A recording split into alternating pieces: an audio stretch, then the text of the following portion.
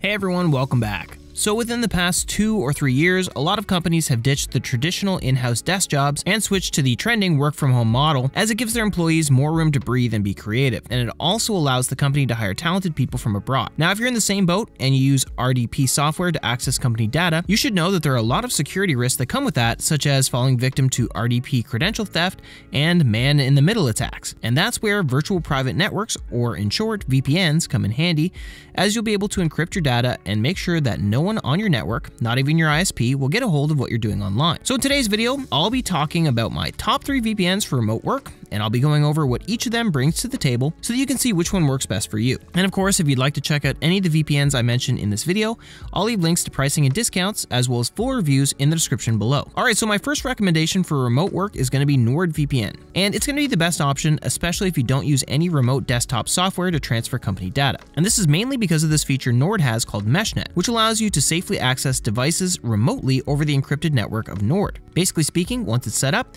it functions just like a LAN connection, which links you directly to the remote device. And this makes it a great option for activities that require high speed, low latency, and advanced security, such as file sharing, active work collaborations, and even multiplayer gaming. Besides MeshNet, Nord also has a kill switch that immediately terminates your internet connection should you accidentally disconnect from the VPN server. And so by doing this, the kill switch would prevent any of your data from leaking over to your ISP or anyone snooping on your network.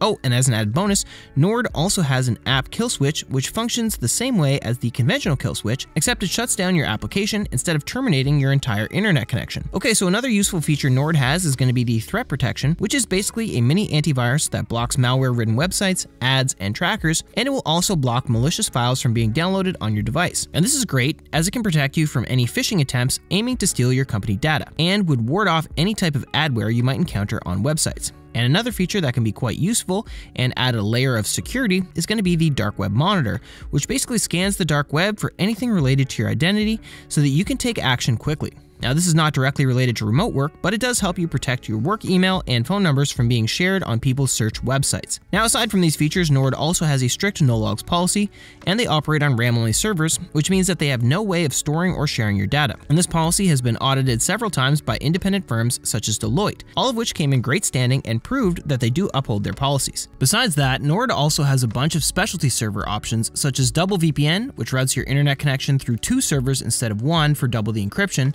Onion over VPN servers, which are optimized for torrenting, and you can even purchase your own dedicated IP server as an add-on if you want an IP address just for you. It's also worth noting that all Nord servers will allow you to access streaming services consistently, and thanks to their huge list of over 111 countries, you can pretty much access any streaming service or library around the world. And so Nord is a great VPN option for remote work as it's a well-rounded value VPN that's extremely fast and I especially recommend it if you don't have a remote desktop application since MeshNet makes working from home much easier and more secure.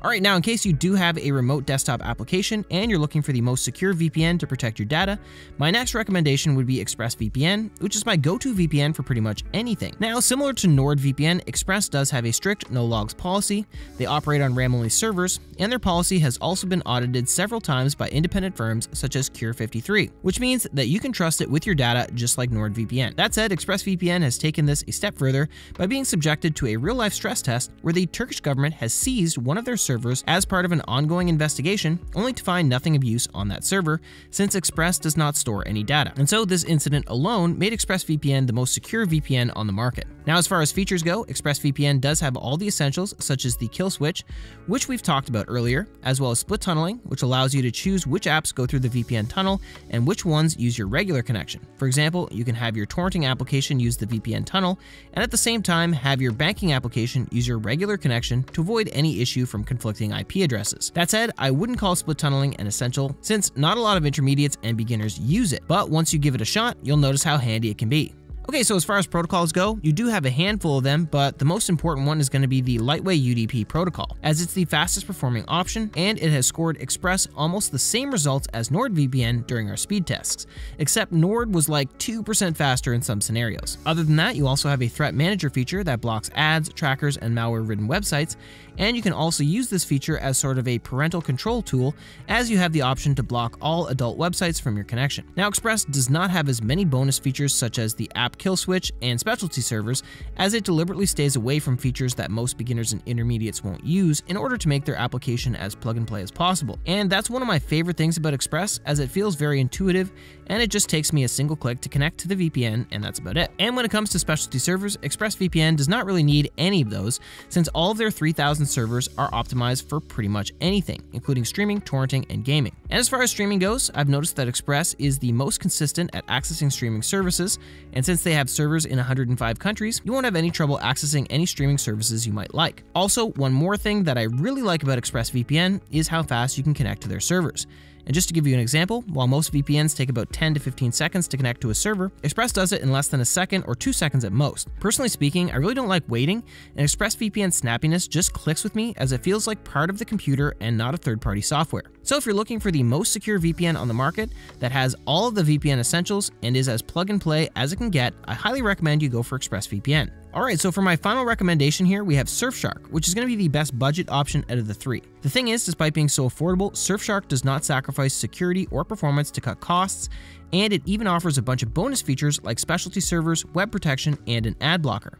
Aside from these features, Surfshark also has the essentials such as kill switch and the split tunneling we talked about earlier, and it also has a feature called No Borders mode, which turns on automatically the second it senses any restriction on your network, and it immediately connects you to the closest obfuscated server so that none of your data or activity gets leaked. And so as you can see, Surfshark does not shy away when it comes to features. Now, although it's typically not as fast as Nord and Express, it's still really fast and outperforms most VPNs on the market. Also similar to Nord and Express, it allows you to consistently access streaming services and given it has 3,200 servers spread across 100 countries, you can pretty much access any content you might want from around the world. Besides that, Surfshark will allow you to secure an unlimited number of devices with one subscription, as opposed to Nord's 10 device limit and ExpressVPN's 8 device limit. So it's basically the best option if you're looking for a fast, low budget VPN that gets the job done at the best possible cost without sacrificing security or any important features. And the cherry on top is that you can share with your friends and family. So that's pretty much it for the best VPNs for remote access. I personally would recommend NordVPN